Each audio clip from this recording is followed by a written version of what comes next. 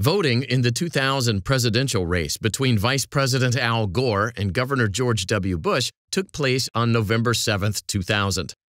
As of November 8, 2000, the results for all states except Florida had been determined.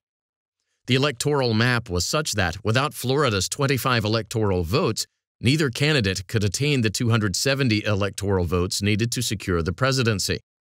Thus, whoever won the Florida election would also win the national election. On the morning of November 8th, the preliminary tally in Florida had Bush ahead of Gore by 1,784 votes. The difference was less than one half of 1% of the total number of votes cast. Under Florida's election law, this triggered an automatic recount by machine. Problems arose because at the time the Florida voter was to use a stylus to punch a hole in the ballot next to the name of the voter's preferred candidate the counting machines would reflexively reject, that is, not include in the final count, any ballots that they couldn't read or that otherwise failed to conform to applicable rules. Such rejected ballots were referred to as undervotes. For example, hanging or dimpled chads made it impossible for the machine to read the ballot. The machines also rejected so-called overvotes, ballots where more than one hole was punched under the heading for the same office, thus indicating a selection of multiple candidates for one position. Such problems caused the machines to reject as many as 170,000 non-conforming ballots. After the machine recount, Bush was still ahead of Gore, but by a noticeably lesser margin than in the initial calculation.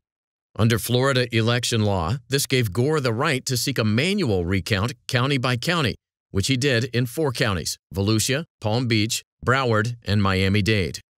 The fundamental task of the canvassers performing the manual recount was to look at each ballot and discern the voter's intent from the face of the ballot. However, there were no uniform statewide standards in place for determining how the undervotes and overvotes should be interpreted in the manual recount. This led each precinct to develop its own distinct guidelines. The result was wide disparity in the treatment of ballots between precincts. On November 26, 2000, after the manual recount, Bush was certified as the winner of Florida's electoral votes. However, Florida election law provided that the loser could challenge the certification in court, but only if the loser could show a sufficient likelihood that so many conforming votes were rejected or non-conforming votes counted as to cast genuine doubt on the outcome. Gore challenged the results of the manual recount. The trial court rejected Gore's challenge entirely, holding that Gore had failed to meet his burden of proof. The Florida Supreme Court reversed this result in part, holding that Gore had satisfied his burden of proof with respect to the results in Miami-Dade and Palm Beach counties.